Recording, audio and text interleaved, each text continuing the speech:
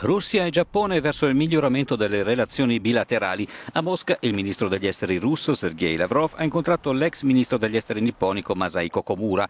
Nel corso dell'incontro Mosca ha criticato gli Stati Uniti che hanno inviato un cacciabombardiere a lungo raggio B-52 sulla penisola coreana in risposta al test nucleare di Pyongyang. È necessario sviluppare l'intera gamma delle relazioni russo-giapponesi sia a livello bilaterale che internazionale. Siamo pronti a farlo. Speriamo che i nostri amici giapponesi siano disposti a questo e a risolvere i problemi in gran parte creati artificialmente, ha detto Lavrov.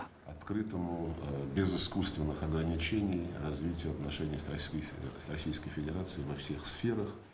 Una delle maggiori dispute tra Russia e Giappone è quella territoriale per le isole Kurili che si affacciano sul Mar di Okhotsk e sull'Oceano Pacifico.